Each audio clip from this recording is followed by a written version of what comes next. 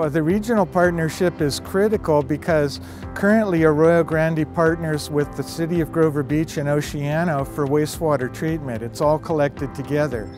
And with Pismo Beach joining in with Central Coast Blue, that just makes a larger resource available for recycling rather than just a limited portion of the wastewater stream. The majority of all the wastewater in the region will be collected for reprocessing.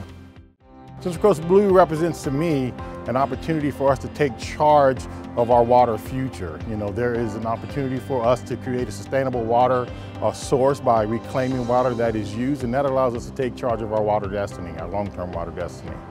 I think it's the regional concept is this is one of the first times and despite what people think about Monterey County, uh, we're really divided as the Santa Lucia Mountains that run between us and the peninsula and the valley are really very different worlds. But the Pure Water Project is something that has brought those interests together because we all need water. We're all losing water. We all need to succeed. I, I really like the W.H. Auden quote, uh, the poet who says thousands have lived without love, but not a single one without water. So water is this great unifier that bridged what we call the lettuce curtain and brought us all together in a great collaborative effort to solve regional problems. In one word, what Pure Water Monterey means to me is success. Excellence. Possibilities. Unprecedented. Future. Pure. Resilience.